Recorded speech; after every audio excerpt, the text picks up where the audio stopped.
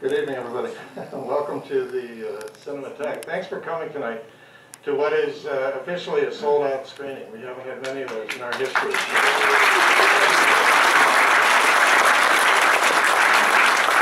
Are Undoubtedly going to be some latecomers, so please, if you see them wandering, you know, the aisles, direct them to an empty seat. I see empty seats around here. Uh, But they're a little hard to find in the dark, and we can't afford ushers here, so, uh, so we depend on you. Um, I'm John Ewing, the director of the Cinematheque, and that's Genevieve Schwartz, the assistant director. Um, And I want to just, um, well, first of all, tell you that we're here every weekend showing films, not always to such big crowds.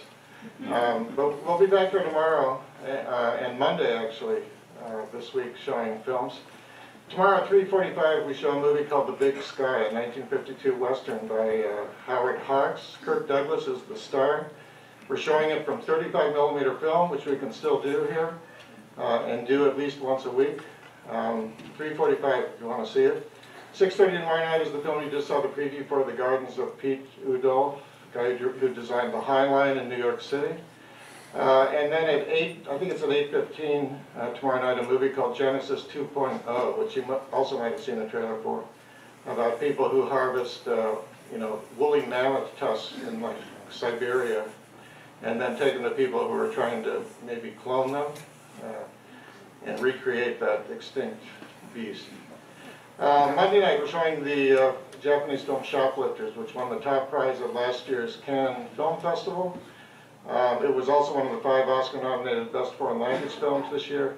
It will be presented by Linda Ehrlich, who uh, is a scholar of Japanese cinema. Linda, you taught at Case for many years. She now, she kind of retired last year and now lives out of state.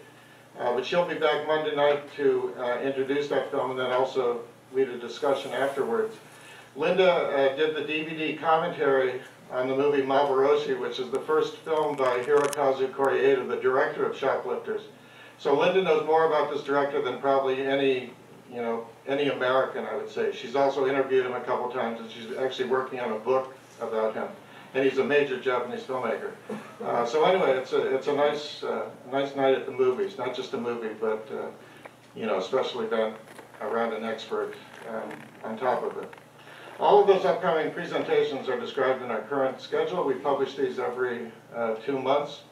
Um, You need to become a Cinematheque member to receive these in the mail, but um, we do send out an e-blast every week. If you'd like to get on our email list, over by the candy dish, you'll find forms. Just give us your email address. Please print legibly, and we will add you to our e-blast, uh, which goes out on Tuesdays and always contains a discount offer in addition to reminding you about what, what films we're showing uh, the, you know, the following weekend. And we do show five or six different films every week, so it's quite, it's a lot to keep track of. I can't even do it, so, uh, so anyway, you need either this or the email or check the website or whatever. But we do show great unusual films all the time. And Stiv is a prime example, and I, I do want to thank uh, Mick McEwen, who was the first, who approached me about showing this film. This was like months ago, I want to say like in the fall.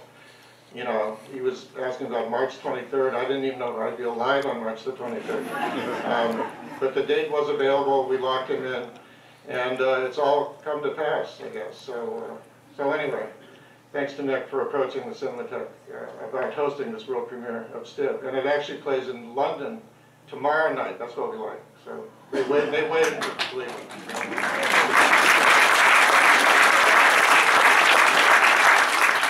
Okay, we usually do a- a giveaway before the show, but we're not doing it tonight because your tickets don't have numbers and nobody cares anyway, so. So anyway, we'll just move on with the main event. I do want to ask you though to turn off your cell phones before the movie starts and don't use or check those phones during the film. That's very, very important. It's a real distraction when a light pops up in the audience in the middle of a movie. All eyes focused on this screen only, please. Um, and there are other, there's a panel discussion here, but I'm not going to tell you about that. Let me just introduce um, Howard Kramer, who is going to moderate the panel discussion. Um, Howard uh, was for many years a curator at the Rock and Roll Hall of Fame. He's now, um, he isn't doing that anymore, but he is like a freelance, you know, museum consultant. Uh, He's uh, still a museum curator, and he's an author, and he's here tonight with Stiv. Please welcome Howard Kramer.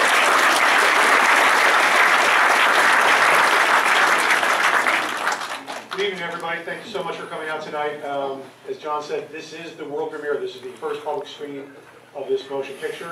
Um, One of the wonderful things about it, it is a Cleveland story, a Youngstown story. There's a lot of people from uh, Cleveland and Youngstown here tonight. I'm sure a lot of you are seeing faces you haven't seen in many, many years, and it's great how through all these years, art continues to pull us all together. So uh, I hope you all have a chance to really enjoy this. Um, When the film is over, we're going to have a little panel discussion. We're not just showing furniture out here on the stage tonight. Um, Several of the people who are on screen tonight uh, will be here. David Quinton, Eddie Best, Frank Secich, and Jimmy Zero, and I will be uh, having a conversation after film.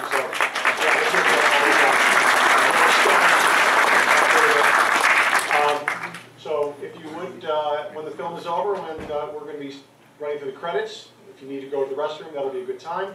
We'll give it a couple minutes and then we'll uh, do the, uh, do the panel. We'll probably do a little Q and A as well, so if you have some questions, make sure it's a question and not a statement. We like them in the form of a question, it's a real question. Uh, And again, as you support local music and you support music, also support great local art cinema. The Cinematheque is a real jewel of the city. So without any further ado, Steve.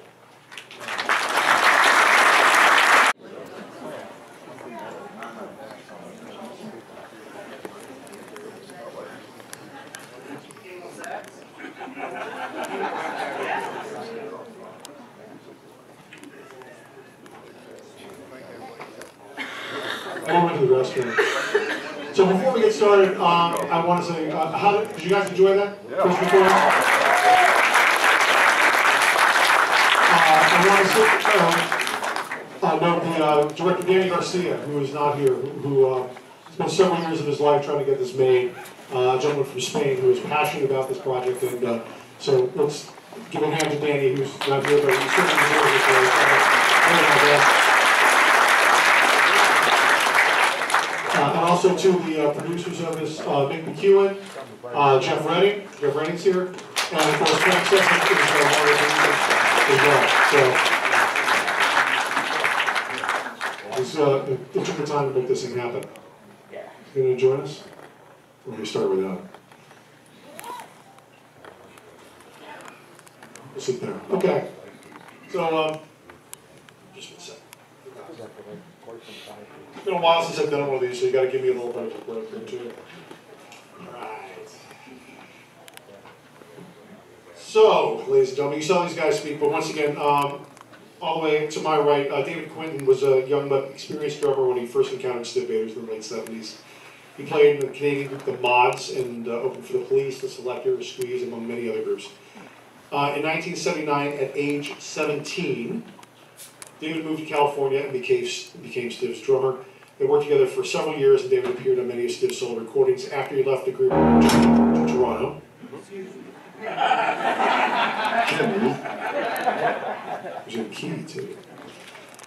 I released a solo record, played drums in the Canadian band The Jitters and Strange Advance. He's currently an attorney practicing entertainment law in Toronto and continues to make music. Please welcome David Quinn.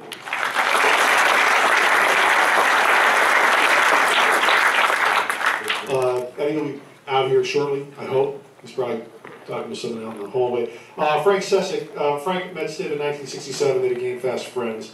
He was the first person to bring Stiv on stage. Uh, Frank is a founding member of Blue Ash, who rather famously opened for the Stooges at their final show in Michigan in the 70s, which was captured on the uh, Metallic KO record. It'll be quite a uh, quite a night. Um, Frank was Stiv's collaborator on the Bob, Bomp singles and Stiv's solo LP Disconnected. He toured with various Stiv Bators bands and lineups of the Dead Boys. His current musical project is the Deadbeat Poets. He's, as I mentioned, associate producer of this film. This is Frank Secich.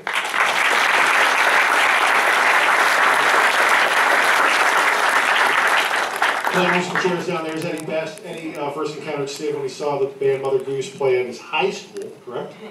Sir. Uh, they met a few weeks later, and after Mother Goose broke up, Eddie and Stiv formed the Rotten Tomatoes that we saw evidence of tonight. They reconnected several years later when both of them were in Los Angeles, and Eddie joined Stiv in the studio to participate in the sessions that produced the Bomp singles and several other tracks that were released over the years, and many of them posthumously. Uh, once again, ladies and gentlemen, Eddie Best.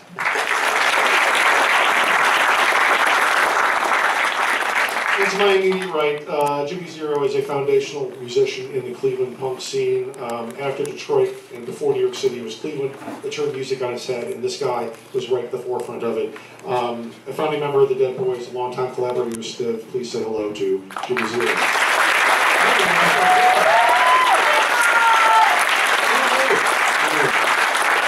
You guys us okay out there? Is that fine? We can't, we have to turn them up up there. Hello, turn me up, please. If you turn up just a little bit, please. Thank you. Turn up, turn me up, please. Thank you. All right. I have absolutely nothing to say, and I want to make sure the audience knows that by the time they leave here. I'm sure you will. Uh, this has got to be a momentous occasion because Jimmy doesn't leave the house very much, and for him to come out for this is a pretty big deal. So, uh, Leave the house if you look like this. um, the interesting thing I found about this film is it, it begins at the end, and it talks about how peaceful and happy Steve was. And you guys were fortunate to witness the entire arc of this guy's life, really.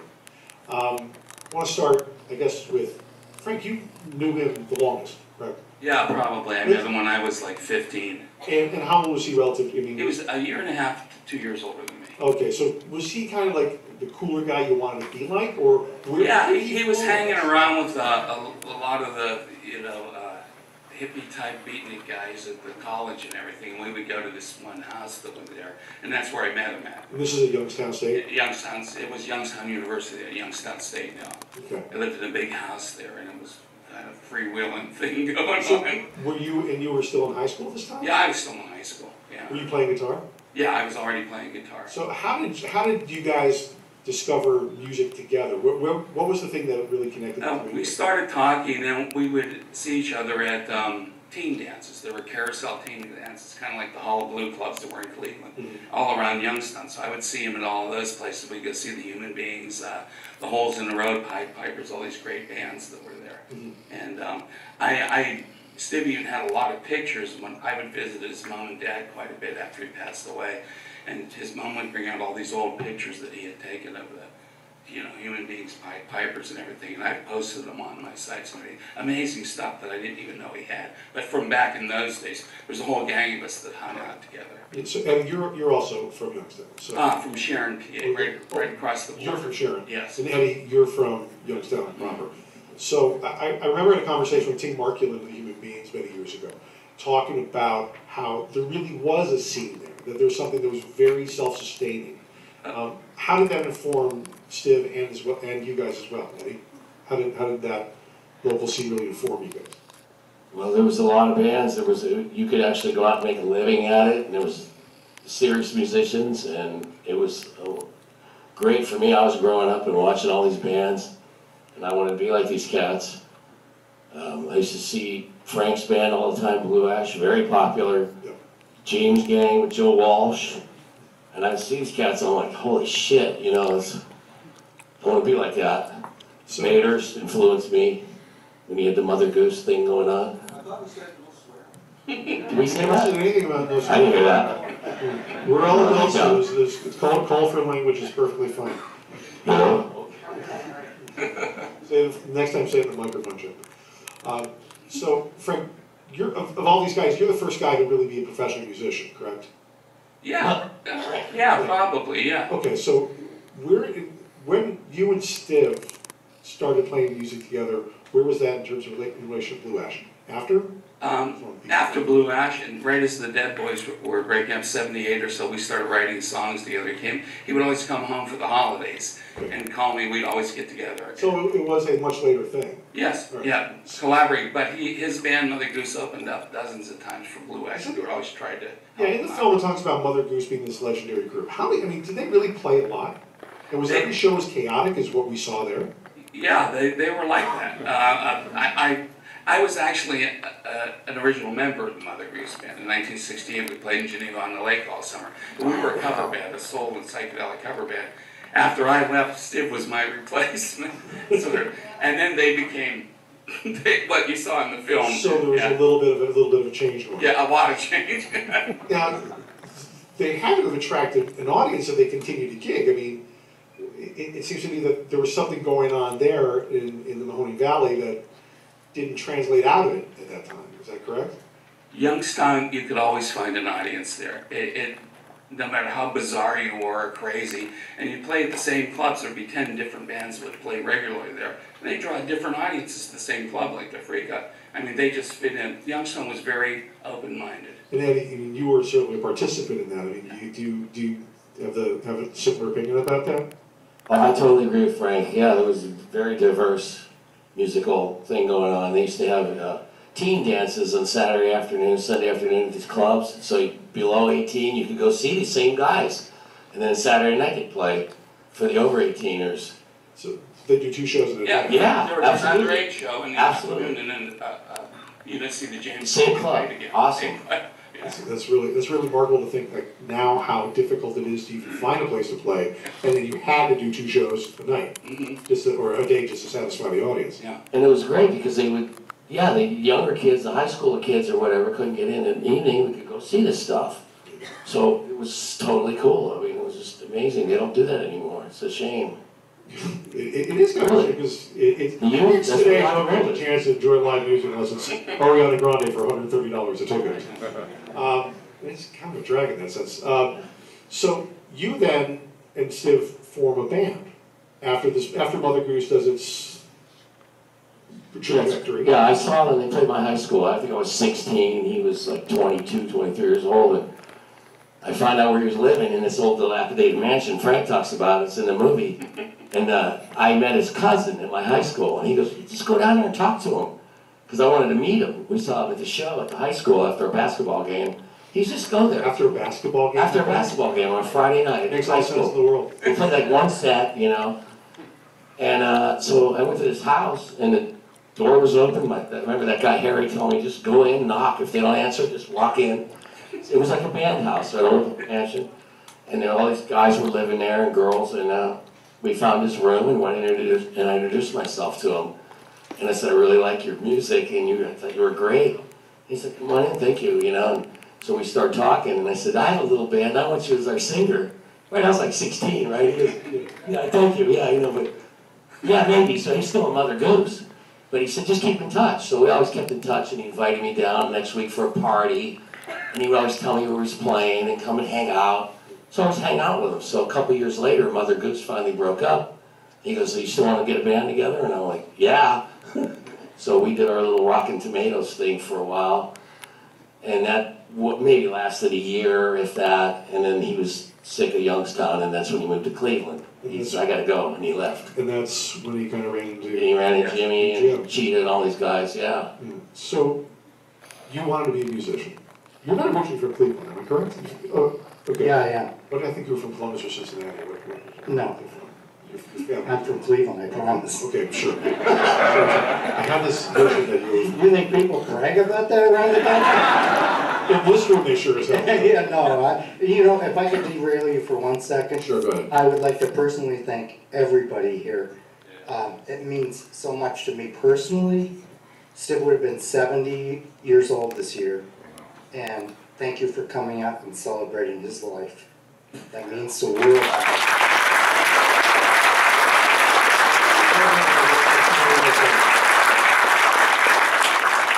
So you're this guy in Cleveland, in a town full of cover bands and places where it's hard to play original music. And at that time, there's really something starting to happen in a, in a true underground sense. Um, with uh, Electric Eels, Rocket, Rocket from the Tombs happening, or just starting to, and you're there. And then you and Steve meet. What, what was that like witnessing that happen, those bands? Uh, To create an awkward analogy, it was like going with a, a string of women, or in the case of the ladies here, a string of men that you really didn't care about. And I had played in bands for ten years before I met Stiv, and they were bands basically, I mean, due to my own fault too, I'm not blaming other musicians, that I really didn't care about. And then when I met Stiv, I wasn't sure what he was all about because he was so crazy. The sh- shit he told me the first night I met him, I can't even repeat here. I just can't. It scared me. No, I can't. It's it scared it scared me. Try. But anyway, the stuff Howard's referring to is, is that you saw the potential in these bands that were forming in the underground and kind of like sticking their heads up every now and then. You saw the potential that there were bands that were going to happen that you could be in love with, to beat a dead metaphor to death. And Rocket from the Tombs was the band for Stiv and I. We would go see them. They thought we were a gay couple. Um, we would go see them and we would watch what they do. And I was watching them in a totally different way than Stiv. I was admiring what they did artistically. Stiv was looking at them thinking, how do I blow this up and sift through the, the debris of the explosion and take what I want from it?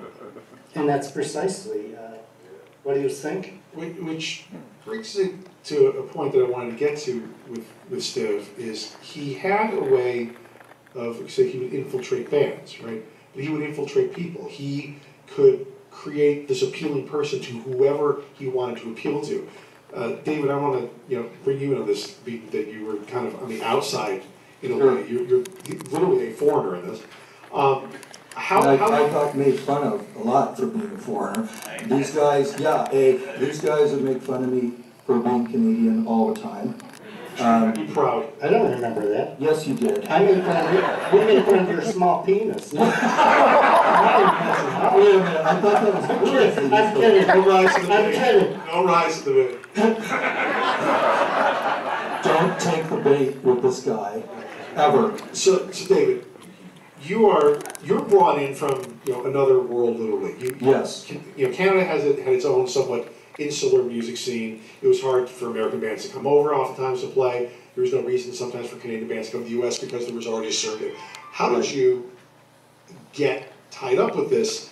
And what sold you on it, and also sold your parents to allow you, seventeen-year-old Oh, parents, oh boy. Well, you know, I met Steve um, a club in Toronto where my band, the Mo- turn off that fucking phone. Uh, Did you not hear John before the thing started? Uh, so I met Steve at a, at a club in Toronto where my band, the Mods, were playing, and you have to realize, like, at, at my age, um, 16, 17, uh, Steve was a rock star, um, as was Jimmy. I, I owned Dead Boys Young, Loud, and Snotty. It was my favorite punk album. Um, so these guys were, were stars to me. The first time I met Jimmy, I was like, wow, it's Jimmy Zero. Like, it was, went downhill from there, I assure you. and that's despite the earlier comment, you know. But but I uh, uh, it was a big deal for me to meet Steve. He was stumbling drunk the night I met him, and he and he said, "I want you to play with me." And I was like, "Okay." And I didn't hear from him for several months, and um, then he called me one day and said he had tickets for Los Angeles uh, to go and play with uh, and record with Eddie and Frank. And um, my mother. Uh, had seen some Dead Boys uh, material in some rock and roll magazines that I had lying around the house, and she said to me, "I want to talk to this Stiv and I was like, "Okay." Now I had already been on the road quite a bit by that age, so it wasn't like shocking for my parents that I would go away, but nonetheless, Stiv got on the phone with my mom, and he was like Eddie Haskell from Leave It to Beaver. He was absolutely impeccably charming. And he said, I want you to know we will look after David. You don't have to worry at all. We will take care of him. And then she hung up the phone, and then he told me what was really going to happen when I got to LA. Which brings me to, so how did you guys take care of David? This was hinted at at some point. Um, one of you guys go first, because I'm sure there's a lot, there's a lot to dish here. Go ahead, Jim. Still, the first few days on the road, David was writing, he would stay in, in the hotel while we were destroying whatever city we were in. He's hiding right now, by the way, I just. And he would write letters to his girlfriend back home in Toronto. He was a nice guy, a person that actually Steve and I should have looked up to. him. But we didn't. And took me aside, he was watching these letters back home. And it was kind of like a mosquito was flitting around Steve bothering him. Like, what is this? Oh, it's character. It's a good person. What, what's wrong here? And he told, he actually told me, he goes, watch what I do. I'm going to corrupt David. And I will leave it up to David if you want to hear what happened next. I'm not going to tell you. Well, you know how they were talking about how he would exaggerate people's ages. Uh, one thing he used to do is if um, girls would come backstage, he would lie about my age and he would tell them I was a virgin. Just so he could see what would happen. Um, that was his sense of humor. But these guys were, were older than me. Steve was 11 years older than me at the time. And um, when I went down there, I looked to them to basically be the parents, um, my big brothers. And what I found out is that is that Steve and Frank were basically clinically psychotic, and and then I got zero, and he was even worse. There- there- There's got to be a tale here. I mean, what, was there a particular city where things turned, turned? I, I don't talk about other people unless people pay me lots of money. But I, I- I'll tell you one, Joe. Okay, This is I knew that wasn't gonna take long. We have been touring the West Coast and all over uh, Middle America. And we had been out with uh, Peru uh, members, magazine, all these. And Steve and I were rooming together. We're in this big hotel. And we had been really, really, really drinking a lot. And Steve and I always roomed together. And I said, Steve, I looked out the window and I go, where in the hell are we? And he looks out the window. He goes, I don't know. It's actually going to be a phone book. I go, Seattle. but we just didn't know where we were. And we woke up in this room and it was like, that was it. That was Seattle. Does Seattle do that to people? I, I, I'm not, not certain. They have free But- buses but- there. Wow. Um, Bus for free. There, there's something that, that seemed to be um, common in Steve's life, which is rather brief. Of course, he, he died at age 40. Um, was that most of these projects were kind of brief stands. Now, do you think that's each one of you? I want to ask your opinion about this. Is that his restlessness, or is that short attention span, or he just didn't find what he was trying to get to? Um, you know, Eddie, what, what do you what do you got to say? Uh, Do you have two cents on that? Uh, I think it's all of that, what you just said, honestly. Short attention span, looking, searching, always trying to reach for something bigger, better, higher, faster, louder, you know, he was just always on the go. Guy was, um, I guess back then you call it OCD or hyperactive. He was definitely um, hyperactive. Yeah, and, and Frank and Jimmy, I mean, you guys kind of like bookend things and also obviously, you know, cross over. I mean, what, what are your thoughts about that? well, still, when I did an event over ten years ago with Howard at the Rock and Roll Hall of Fame, and he asked me when the Dead Boys saw the end of the road. And I said when we first met, and the audience laughed. It wasn't me being cute or clever or funny. It really was like that. I thought, you cannot put these five individuals in a band and maintain it for very long. It's going to explode. And Steve wanted to keep the Dead Boys together, but we couldn't maintain ourselves. We were too uh, unstable. The, the drugs had entered in by then. Um, we were concentrating more on just maintaining rather than achieving artistically. Not that we were artists, but you know what I mean. Well, it seems that even just about all the contemporaries you had, save maybe Talking Heads, had virtually no commercial success during the time that they worked together. I mean, certainly the Ramones were infinitely more successful long after they, they uh, ceased to be a band. I mean, certainly long after Joey died, they became financially successful. Um, you guys kind of faced the same thing, though. Well, Steve didn't quit the Dead Boys. The Dead Boys quit Steve. Okay, as, as mentioned with uh, Cheetah and his, his issue. Yeah, it just fell apart. Like, actually, I think there was just um, inertia that kept it going as long as it did. Um, Johnny was stabbed right after our second album was recorded, and when I look back at that time now, we were really ready to call it quits as people, as individuals, before the second album was recorded. You could not live like we lived. You just can't. You'll go crazy, you'll die. Um, Was that a function of being in a band or being in a band in New York at that time? I mean, you, you, you sang in the movie about how difficult it was going back and forth from Cleveland to, to New York.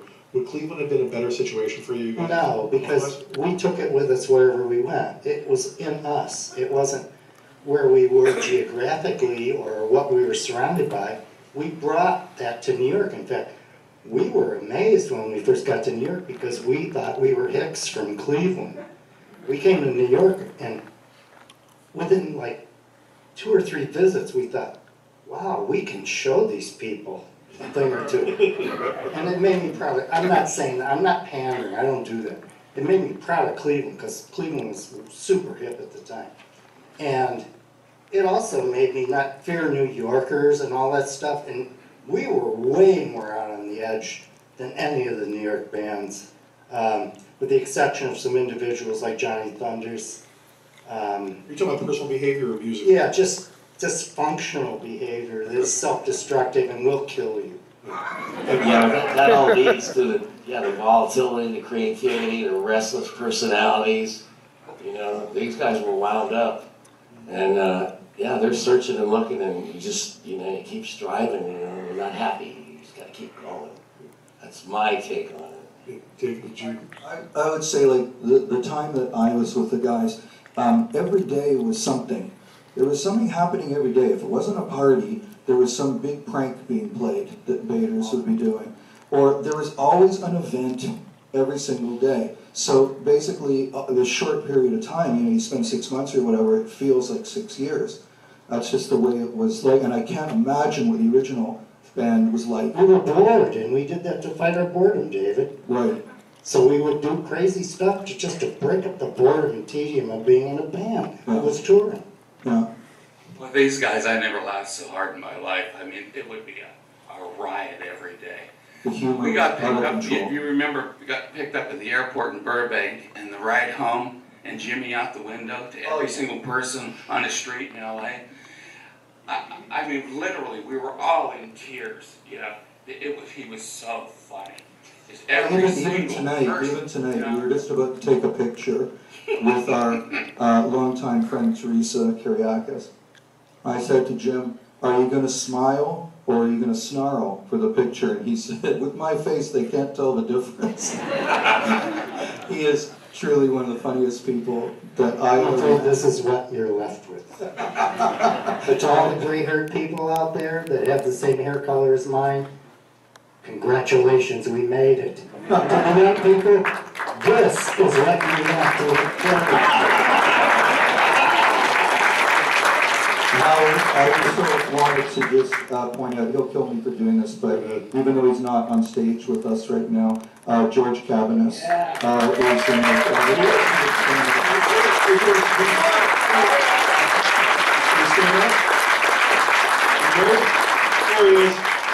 George Cabaniss. George played on Disconnected and toured with us, and um, uh, he, he was and, and still is a, a phenomenal guitar player, one of Ohio's best.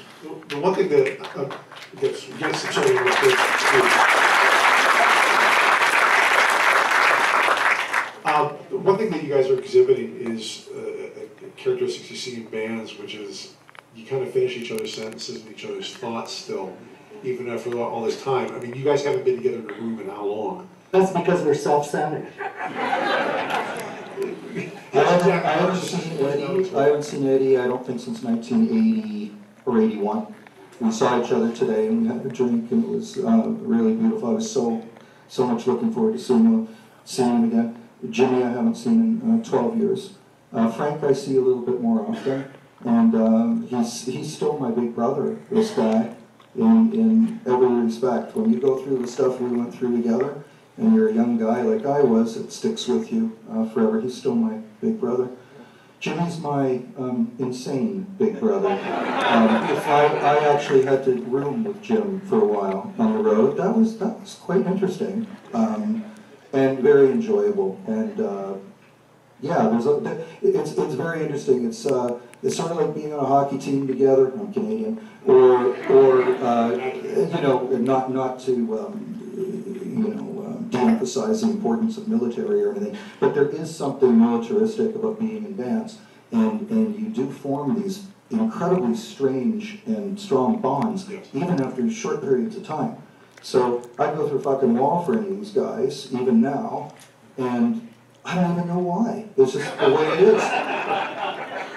I, I, I've seen that many times and experienced it myself, but you're right, it, it, it is a thing, you get a bond that just, nothing, nothing can really break it, and it's, it's just there. I wanna ask, as musicians who played with Stiv, let's get back to the point that this is, you know, about Stiv, what was it like watching him from, the, from your vantage point? So, drummer. From my, my Yes. vantage point, Yeah, because you had to deal with a guy either assaulting your kid, uh, if you're trying to pay attention, maybe having issues with your tempo, I don't know, but what was it like from behind the kid? Well, first of all, I was, I was, I'll admit this, I was very frightened um, on stage with him a lot of the time because he would do dangerous things to himself, and I would, I would think he's gonna break something, or he's gonna break his neck or whatever. But, but sort of the, the things that come to mind when you ask the question, uh, you did see what he would sometimes do when he I called it the drive-through arrangement. Was, to interrupt David, he was very well endowed. Uh, the view I had, it looked like a dried fruit arrangement, it looked like a banana and some plums. And I would say, there's the dried fruit arrangement, okay, how do we get through this? The only other thing I'll tell you is when we were playing at the uh, Whiskey Go Go in Los Angeles, and during that era, some of the punks would spit. And, you know, Stiv was very, he just knew it was gonna happen, so he didn't care. And he would stand at the front of the stage and spit would come, and it would sort of cover him. Or, but I was always in the back thinking, oh, shit, I really hope his spit doesn't hit me. Because some of these people could spit far, you know? Jimmy will tell you. So I was counting in a song like this, and boom, I feel this little thing in my head, and it was hanging and dangling from my head, like that. And I had to play the front of the song like that. Yeah, yeah. That's the perils of being in a band with Stiv Bators. One, one time, Howard, uh, we, we were playing on, on stage, and I never knew where he was at, 'cause he'd be all over the place, right? And I would jump all over the place, and I had a big Fender bass, and all of a sudden I turned real quickly, and he came up, and I hit him in the back of the head, knocked him out of the hole, you know? We take him off, we're in the, in the dressing room, he goes, did it look cool? I go, yeah, it was great. And I never saw him, I just turned and clapped him in the face, you know? And that, Set ended right there, done, yeah. you survived it. Eddie, you got one? Oh, I, I enjoyed watching him. I honestly would just lay back, play the guitar, and watch him go, and it was really entertaining for me. And I was happy to be with the guy that would just like go for it, and I, I enjoyed it. And and Jimmy, with the Dead Boys, and actually the footage from CBGBs I thought was pretty amazing as well as the- the Frankenstein footage. The fact that the Frankenstein footage exists, this kind of blows my mind, but the, the CB's footage, it's, it's not, you know, Stiv is out there, he's right out in front, but the band is also out there. You and, you and Cheetah were also part of this, you know, full throttle assault. What was it like trying to get that dance down? Between- Did it occur naturally, or do you guys? No, I took practice, it was like, um, I don't know about Cheetah, but I always was aware, even when I resented it, I was aware of who the star of the show was. It wasn't me, it was the guy to my left. So my job was to get out of his way. And I learned how to do that, I could sense his behaviors. Like, if he did this certain dance move, and it wasn't rehearsed or anything, if he did this certain body language, it was like, okay, he's coming over here. I'd up, I'd move my guitar over so he didn't bump, detune my guitar. And you just, like, if you were paying attention, you instinctively learned that. At the, at the end of the, the movie, there's that, that scene with, um, it's the end of the beginning, it's, it's, it's Stiv and Carolyn walking down the hall, and he says, when you love someone, you can love yourself. Stiv obviously had some issues with depression, he had some issues with committing to music, uh, even, even let guys go free, uh, the bass player in The Lord's like, oh, you wanna go play another band? Great, it's, it's cool, man, which is not a common occurrence the, the, the loving yourself, do you, do you think he really found that? Because at the end, like we're talking about, the beginning of the movie is the end of his life, and he seemed to have found peace. What's, what's your take on that, guys? Uh, Dave, want to start with you? Um, oh boy.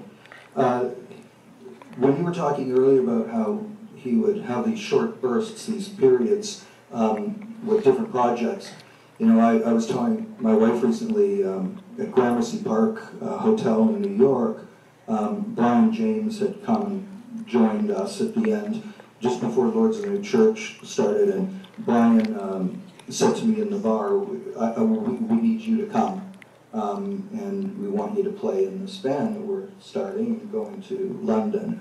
And I looked at Stiv and I looked at Brian and I went, no way, I'm not going anywhere. And I told Frank at the time, I stayed here, maybe that was a mistake not going, but I think in, in certain respects it saved my life.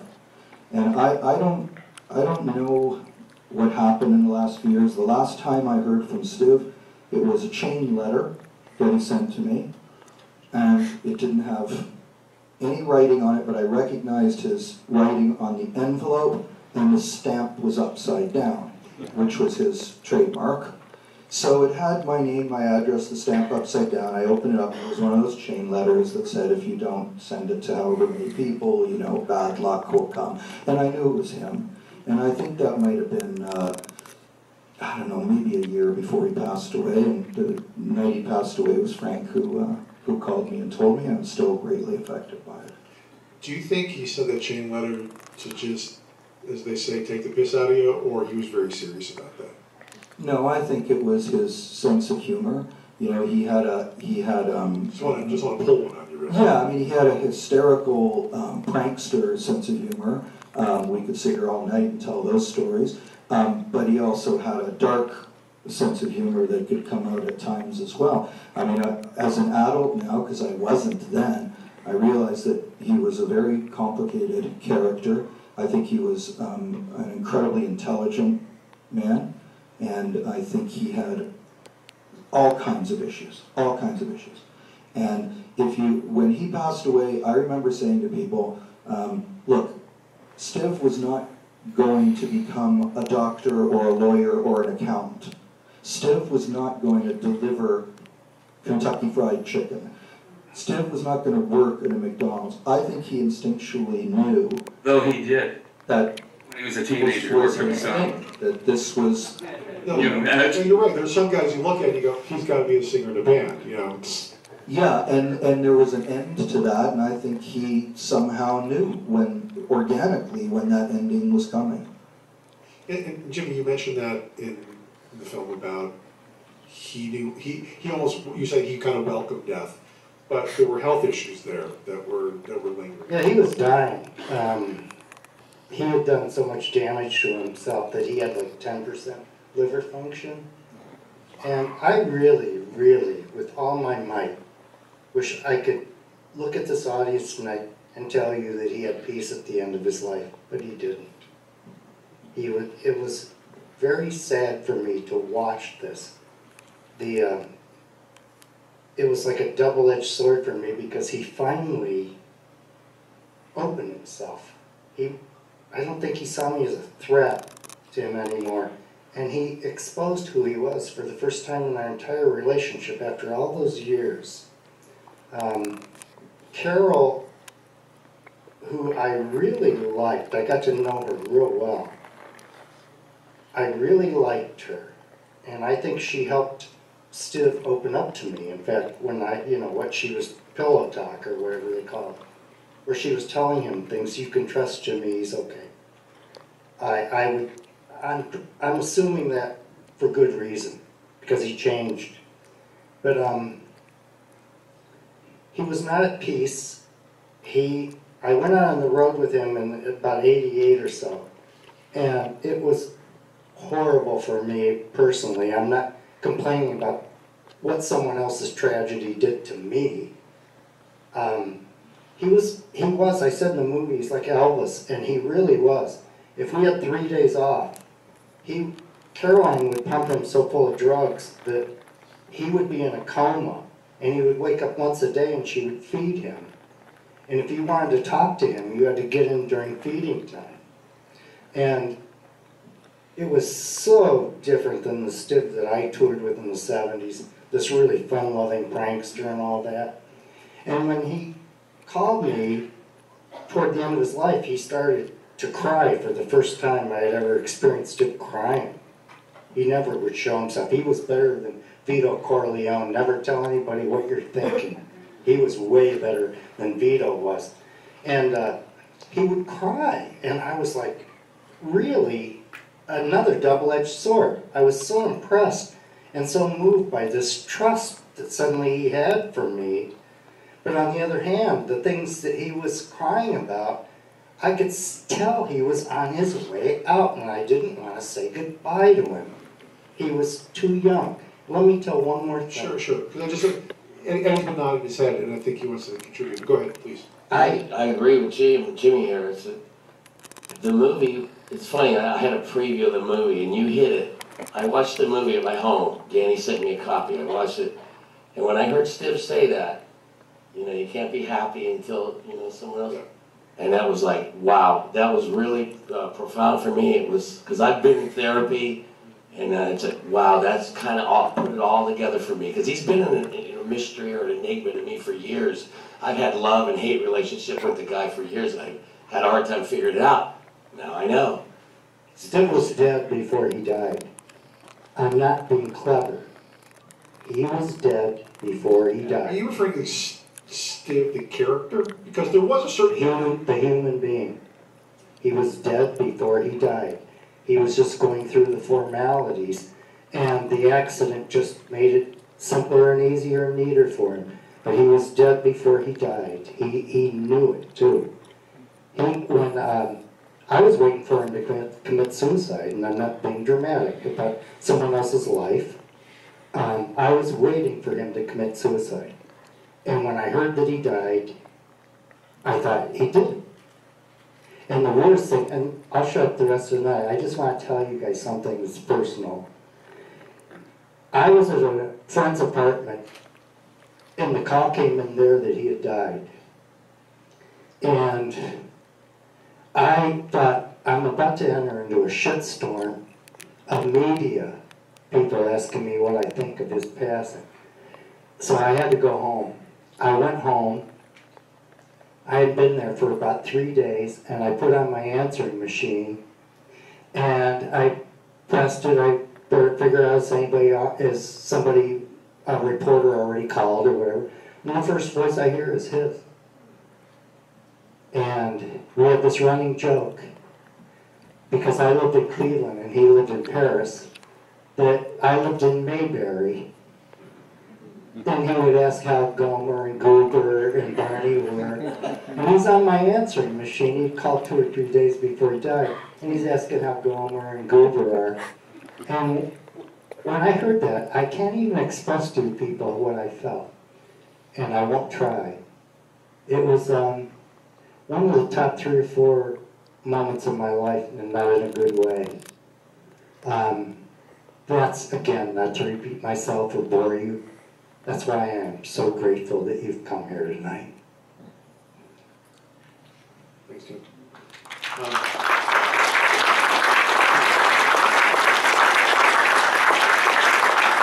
He was obviously a very complicated guy, but there was something about him that all of you clearly loved. And he brought you all together. I mean, at one, just real, just so I'm clear, at one point, was this the band, you guys? Were, were, were the lineup? Just- Um, no, it was, uh, at one point, the three of us, and then another point, Jimmy, Frank, and I. But, no, I just wanted to say that, that he, he changed all of our lives, un. Um, he changed my life in a huge way, and you know, it's funny because, like I said, the fellow, not trying to hurt anybody's feelings, but they're older than I am, and, um, they were, It's an empirical they were, fact, they were, okay? some. Be careful, because you're looking like our age.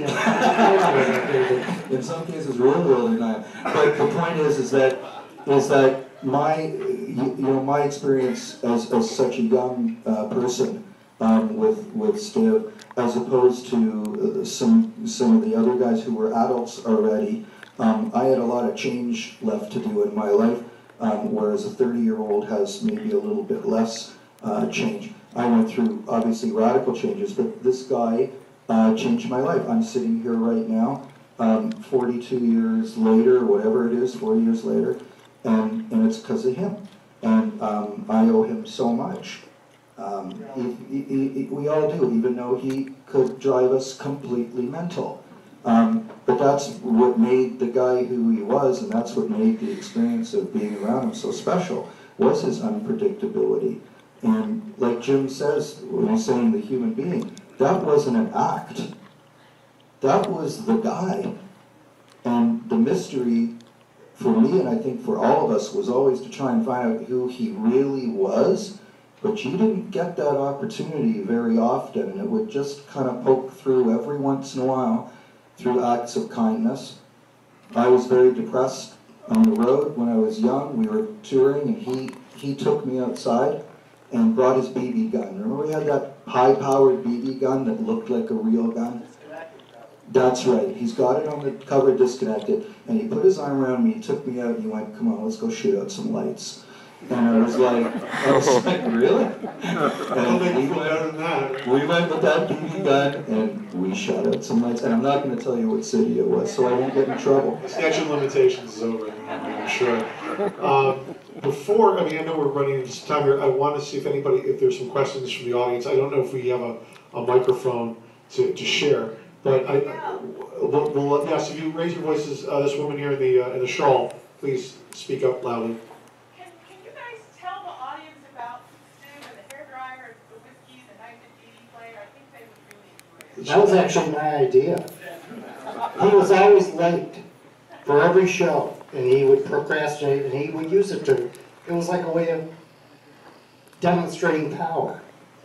And we would be, we'd all be ready to go to the show, and he would be in his hotel room, and he would be blow drying his hair, and he goes, I have to shave. That was always, I have to shave. And I go, Stiv, I go, why don't you go to the, it was a whiskey a go go in LA. And I go, why don't you go to the show and show up in a bath towel naked with a blow dryer that the roadies will plug into the drum riser and shave with a mirror on stage while we're playing our first song. And he goes, that's a great idea. Whenever people listen to anything I say, it's really dangerous. The funny part of that night was that when we did the song, we did a Hard Day's Night by the Beatles, and we did a note for note cover of it. Jimmy sang the lead, I sang in the middle part and the harmonies. And, and uh, George Cabaniss had the Chwal- Rickenbacker Chwalsing bang on the money. And Stiv comes out with a hair dryer, no clothes on. He's on the stage drying his hair while we're doing, uh, and shaving, doing a hard day's night. And he's slipping his pants on him, and we're, we're, you know, when I yell. Because he, he actually got there on time. And because it was Los Angeles, no one got it. He told me, To use Mark Twain's quote about Cincinnati, I'll change it to Los Angeles. Mark Twain said that he wanted to be in Cincinnati if the world ended, because it took them ten years to find out about anything. I want to be in LA. Um, I, I remember that gig because he, he had his face full of shaving cream and with his sunglasses on, he had the towel on. And remember the staircase at the whiskey, you know, you come down. So I'd say, I, I said, Bators, we, we gotta go, we're, we're starting. And he said to me, start Sonic Reducer, the first two notes, and just hang on to them. Don't, don't start. You know, ba ba, so we're holding, holding, holding, holding. And then he came walking down, and when he was shaving on stage, he was throwing the cream. And then uh, Aditi came on stage. I just handed him my bass. I took the hair dryer, started drying my hair. Then I went up and had three or four beers. You guys were great. You know, I'm watching. I'm watching. and Think, man, I'm getting paid for this. I don't even have to play. I sit here and drink. David Moon Joan Jett played with us, and John Belushi. Yeah, Played drums for us. yeah. Fun, fun times. Uh, any other, another question? Uh, yes, gentleman there in the red shirt. Uh, So, one of the other band members who's not here, Cheetah, um, did any of you play with him? What was, uh, what was the relationship he had? Uh, the question was, what was the relationship that Cheetah had with Stiv? And I would guess I, I think it was a very volatile relationship, to be honest with you. I think that Stiv felt that he needed, Cheetah fit into Stiv's paradigm of James Williamson, Iggy Pop, Keith Richards, Mick Jagger. Stiv really was focused on that. Lead guitarist, um, lead vocalist, and Cheetah really fit that bill because Cheetah was like really extraordinary. He was unique. And, but Cheetah didn't always show up and you never kind of knew who you were going to get. And Stiv didn't like that. Stiv really, contrary to what you might see in the film, Stiv was very, very demanding, and you better show up suited up to play, or he didn't like it. And Cheetah was brilliant, but he didn't always show up, and Stiv didn't like that at all. I think they loved each other, though. You know, after all, all during that time, after all was said and done, they loved each other. Uh, any more questions? Any more? Did we answer every question? The all mystery has been erased here? We have a very curious crowd here in the Howard? Troy era. Yes. George, would you come up just for a sec? Oh. Just come up.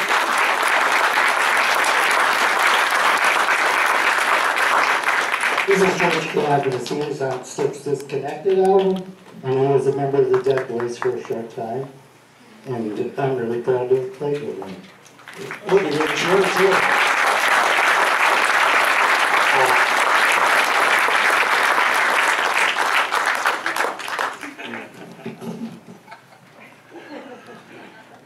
So, See him for five years, he forgets you had sex in, uh, in New Mexico. so George, you're, you're, we've covered a lot of stiff territory here, and you were almost mercenary in, in a, sense. You were kind of brought in off the deep bench to fill in. Yeah, I got the phone call at three in the morning. We were at a roller disco and Cheetah broke his wrist, so you gotta play with us tomorrow night at Max's Kansas City. And you were in Akron at the time. Uh, no, I was in New York. Oh, you were in New York. okay. Yeah, my band Hammer Damage was opening up for the Dead Boys in New York. Okay. So I just to there. Went played with them for, practiced with them all afternoon and played that night at Max's. And, and, Yeah, did an okay job. and as these guys were talking about, there's multiple personalities that you kind of experienced with Stiv. What was what was your relationship like with, with uh, Stiv? Uh, he was real professional with me, and he had that kind of big brother thing going on too. He is like, uh, you know, very nice, but he he kind of wanted to do the let's corrupt the new guy thing. You know, that was that was a recurring theme with him. You So, know? so it was like, who, can I pick on now? And Uh, yeah, in the trap. let's, let's see what kind of, uh, how can I debase this person? and how did that and how did that work out for you? Uh, it was- yeah, not, yeah, I resisted him pretty well, so he, you know. George is basically Gary Cooper. Not a, not a, Except George is Gary Cooper. not bad. Well, um, we spent a, a, a lot of time up here. I know that you guys have some stuff available uh, out in the lobby for sale. Uh, Frank has his book. Um, what else was there available? There were some photographs and some of the Dave's photographs, Dave Treat's photographs, Teresa's, uh, great work. Yeah, Teresa's photographs. Artistry. Marcus's photographs. So uh, once again, I want to thank every one of these gentlemen for taking the time to come into town. Thank you.